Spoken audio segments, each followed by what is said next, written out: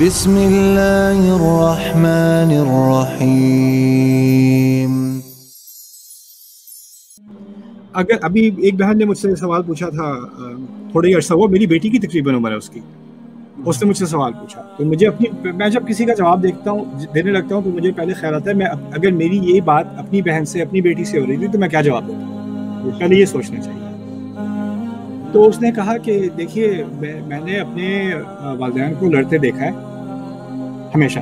शुरू से। मैं जब से मैं मेरी मेरी याददाश्त है मैंने उनको लड़ते देखा है। और पैसों के बारे में, फैमिली के बारे में, हर चीज़ के बारे में वो लड़ते ही रहते हैं। तो मुझे शादी से डर लगने लगा। मैं शादी नहीं करना चाहती। मेरी डिग्री हो चुकी है, मेरी अच्छी जॉब भी लग गई है, मैं इंडिपेंडेंट हूँ, लेकिन मैं मुझे शादी से डर लगता है। लेकिन मेरे पेरेंट्स ने ज़बरदस्ती मुझसे कहलवाया कि तुम करोगी करोगी करोगी अच्छा रिश्ता आया, नाफरमानी है, और इस्लाम के ख़िलाफ़ है, और यू नो गिल्ट करा के मुझसे ज़बरदस्ती उन्होंने कहा कि शादी को अग्री करो। मैं सिर्फ़ शरीय के तौर पर जितना भी आपको ये पोलिटिकली इनकरेक्ट लगे या आपकी फैमिली में इसकी मेरी बातों की वजह से ड्रामा हो इनशाला नहीं होगा, लेकिन मैं आपसे साफ़ साफ़ बात करना चाहता हूँ ताकि आपको ये क्लियर हो। अगर आपने किसी भी मुसलमान औरत को नफसियाती प्रेशर करके शादी पे एग्री कराया तो आप फुकाहा से, अगर आप बाकी फुकाहा का जायज़ा लें और हमारे दिन का जायज़ा लें, जब तक औरत की अपनी मर्ज़ी ना हो, शादी जायज़ नहीं होती। उसको भी ना करने का उतना ही हक है जितना एक मर्द उसको ना करने का हक है और उस पर प्रेशर डालने का आपको हक नहीं है। किसी मुसलमान को ये आपकी बेटी आपकी प्रॉपर्टी नहीं है। वो एक मुसलमान है वो अल्लाह ताला की प्रॉपर्टी है उसको अल्लाह ने राइट्स दिए हैं उन राइट्स को आप ओवर राइड नहीं कर सकते। अगर वो मना कर रही है तो बात खत्म हो जाती है। उसके बाद ये नहीं क्या है? क्या मुसीबत है? ठीक ही तो है दो आँखें तो उसकी भी हैं। ये छोड़ो ये बातें। कि तुम्हारे कहने की आपके कहने की है ही नहीं क्योंकि वो अल्लाह ताला की बंदी है आपकी बंदी नहीं है।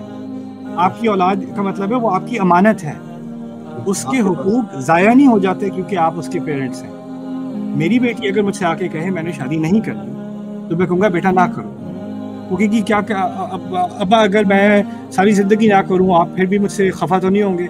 मैंने कहा बेटा मैं आपसे पूछूँगा कि आप क्यों नहीं करना चाहती? नॉर्मल तो नहीं है। हो सकता है कि आपको कुछ इमोशनल इश्यूज़ हों जो आपको रिजॉल्व करने की ज़रूरत हो।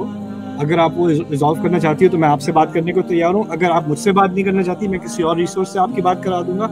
लेकिन क्योंकि आपको दिल से खुश होना चाहिए जो भी आप करो अपनी ज़िंदगी में। लेकिन अल्लाह ने आप पर ये वाजिब नहीं डाला कि आप लाजमी शादी करो। लेकिन ये अल्लाह ताला ने इंसान की नेचर में डाला है इससे एक सुकून आता है ज़िंदगी में, एक खुशी आती है।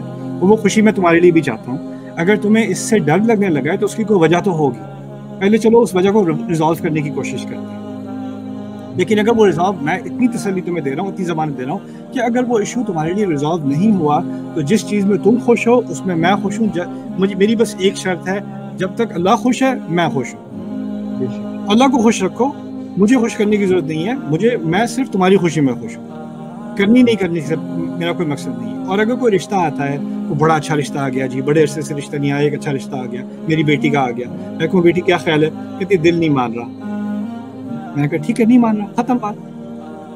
पीछे से अगर कोई कहना शुरू क्या हाँ है, क्यों नहीं मान रहा? तुम्हारी कौन सी लाइन लगी हुई है? तुम्हारे ताने शुरू हो जाए।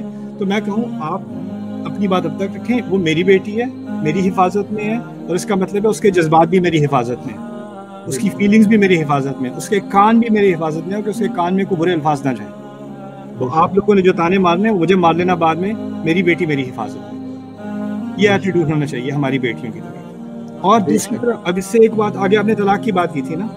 अगर कोई बेटी आती है कहती है बाप से कि पापा मैं अपनी शादी में खुश नहीं मेरे साथ बहुत ज्यादती हो रही है। मुझसे रहा नहीं जा रहा।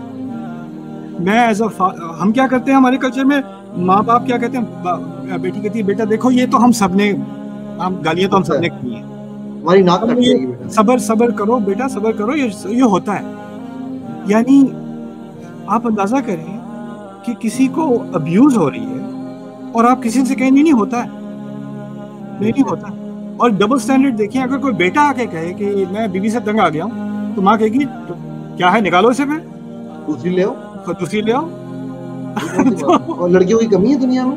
हाँ और ये, ये वही माँ अपनी बेटे से कहेगी लड़कियों की कमी है और वही माँ अपनी बेटी से कहेगी सबर करो बेटा अल्लाह का ज़िक्र करो तुम्हारी गलती होगी समझौता कर लो कुछ कर लो कुछ कर लो। ये मुनाफ्त की हाइड ऑफ़ हिपोक्रेसी और ये जुल्म जुल्म से कुछ कम नहीं है।